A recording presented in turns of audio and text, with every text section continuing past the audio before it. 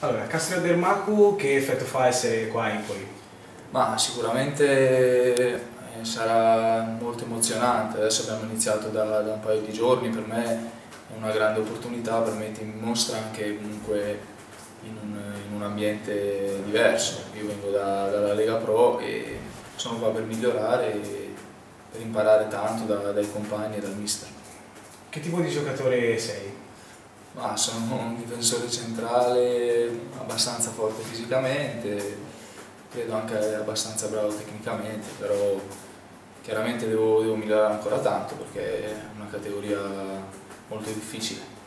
Senti, il salto è stato importante, immaginiamo insomma, che il tuo obiettivo sia quello di, di, rimanere nella rosa, non so se hai già parlato con i dirigenti di questo. Sì, il mio obiettivo è quello, anche perché come hai detto tu il salto è dalla Lega Pro in Serie A, comunque c'è tanta differenza.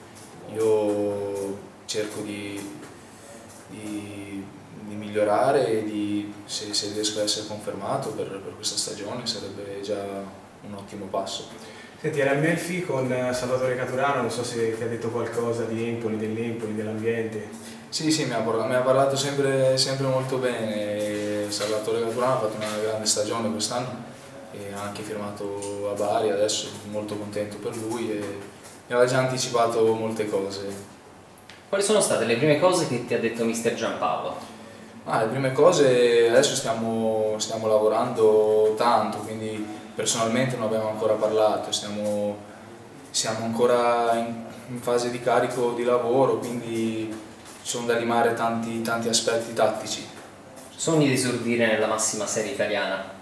Chiaramente quello è il sogno di, di, ogni ragazzo che inizia a giocare a calcio, di ogni bambino, quindi speriamo, speriamo, speriamo. Che ambiente hai trovato qua a Empoli? Ho trovato uno spogliatoio bellissimo, veramente ragazzi umili, con tanta voglia di lavorare, anche dai più vecchi eh, Maccarone o lo stesso Tavano che è andato via, comunque ho trovato uno spogliatoio molto molto unito, molto, che sicuramente aiuta anche in campo, poi i risultati si sono visti.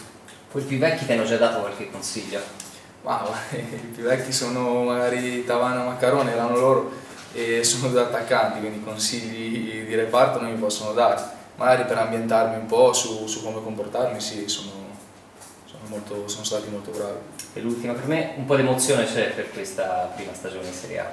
Sì, sì, sì, sicuramente bisogna anche gestirla perché è vero, è il primo anno, quindi mm, non mi aspetto niente di speciale, ho detto spero solo di essere confermato e poi le cose vengono da sé. Perfetto. Senti, una curiosità, un albanese di Scambiano, cioè dove è nato il tricolore, proprio... Ah, eh, no, vabbè, io sono, sì, sono nato a Scandiano da genitori kosovari, quindi sì, origini. Ah, kosovari? Sì origini kosovari, però sì, se l'etnia è quella albanese, quindi eh, no, mi sento... mi sento... Sei sì, italiano? Ma sia italiano che albanese, è una bella sensazione adesso. Non la possono provare tutti. A proposito c'è Isai. Sì, sono anche in camera con lui in ritiro, un bravissimo ragazzo. Sì, sì, sì, sì, è uno che mi sta dando tanti consigli, tanti... un ottimo giocatore tra l'altro. Tu già anche già nel 21, vero? Ho fatto, sì, ho fatto una partita tre anni fa, poi, basta.